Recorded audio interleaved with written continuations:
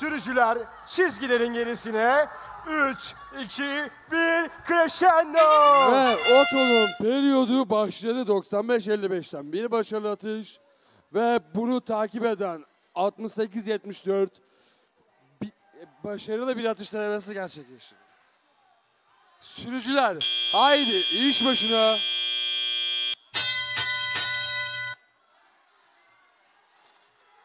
...95-83 ve 95-55 orta alanda kıyasıya bir rekabet içinde. 90-21 orta alandaki notayı alarak kendi yer sahasına gidiyor.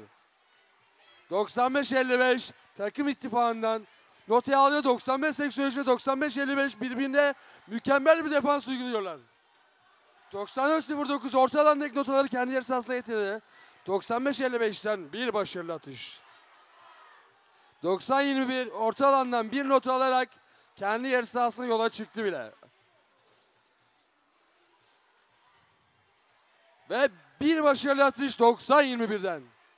94-09 aldığı nota ile birlikte orta alanda kırmızı robotlara izin vermiyor.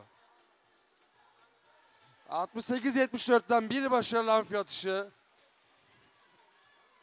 95-83'ten bir başarılı amfi atışı daha geldi.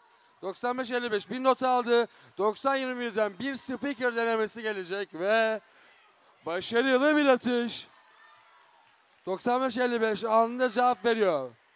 95-83 arkadaşından bir nota aldı kendi yeri sahasına. Ve son bir dakika. 94-09'dan 90-21'e mükemmel bir savunma. 68-74 orta alanda aldığı notayla başarılı bir atış gerçekleştirdi. Ve amfideki notayı şu anda başarılı hale çevirmeye çalışıyor. 95-55 orta sahadan aldığı notayı maalesef başarılı bir şekilde spiker atamadı. 68-74'ten bir başarılı atış daha geldi.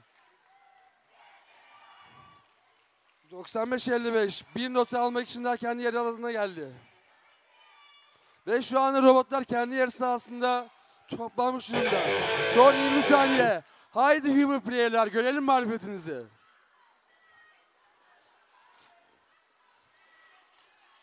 Ve son atışları maalesef başarısız. Son 8 saniye. Haydi park alanına. 95-83 91 ile park alanına girdi. 68-74 son saniyede girdi ve maç bitti.